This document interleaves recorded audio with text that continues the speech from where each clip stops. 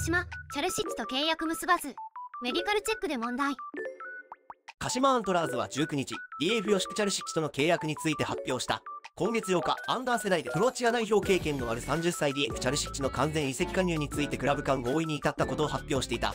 しかし来日後に実施したメディカルチェックの内科検査において問題が確認されたことで双方合意の上で正式契約を結ばないことを決めたことを19日に伝えている。CB が4人でも少ないと思っていたのでこれはピンチだ。完全移籍した庄司やキムミンでは仕方ないとしてそもそもなぜ林直樹を今季もベルディに貸し出しているのかがわからん。